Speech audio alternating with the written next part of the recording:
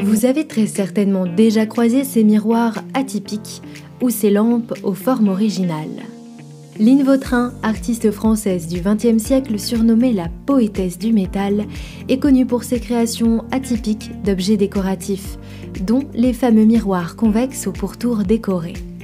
Lynne Vautrin, reconnue après l'exposition universelle de 1937 à Paris, est aujourd'hui admirée pour ses bijoux, luminaires et autres sculptures travaillées à partir du bronze, son matériau de prédilection.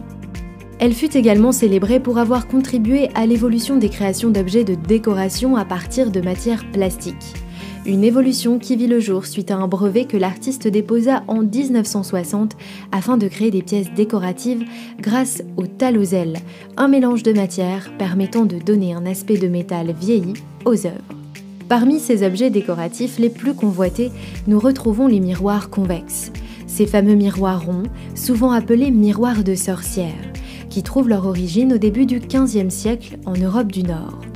Le plus souvent disposés dans les échoppes, ils avaient pour but de surveiller les clients. La légende veut d'ailleurs qu'ils chassent le mauvais œil. Ces miroirs sont ainsi le plus souvent disposés dans les maisons au plus proche de la lumière et assurent symboliquement la protection de ceux qui les possèdent. Mais alors comment reconnaître le travail si singulier de Lynn Vautrin? La touche personnelle de Lynn Vautrin transparaît à travers la conception d'œuvres imaginées selon un ensemble de formes géométriques aux teintes colorées. L'or, le bronze sont des matériaux privilégiés par l'artiste. Elle les utilise et les détourne avec humour. En témoignent les divers surnoms donnés à ses créations, tels que les colliers saute-mouton ou les plats longs comme les girafes. Les pourtours des miroirs imaginés par Lynn Vautrin sont le plus souvent ornés de formes géométriques qui s'adaptent aux tailles variables des pièces. Tels des couronnes, les motifs assurent singularité et originalité aux miroirs créés par Lynn Vautrin. Si certains prennent l'apparence de soleil ou encore de constellations, d'autres sont dotés d'une accumulation de petits personnages formant une ronde. Tel fut le cas du miroir sorcière nommé Si tous les gars du monde, adjugé 350 000 euros par la maison Christie's en 2015, un record à ce jour pour les œuvres de Lynn Vautrin. La diversité constitue le maître mot du travail de l'artiste.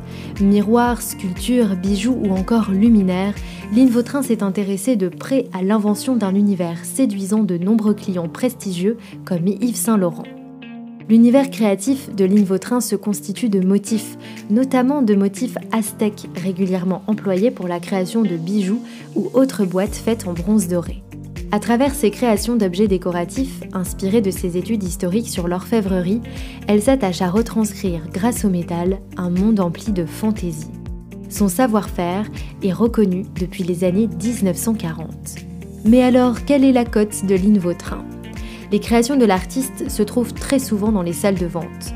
Les miroirs Line Vautrin peuvent être estimés entre 300 et 100 000 euros selon la période de création et l'originalité de ces derniers.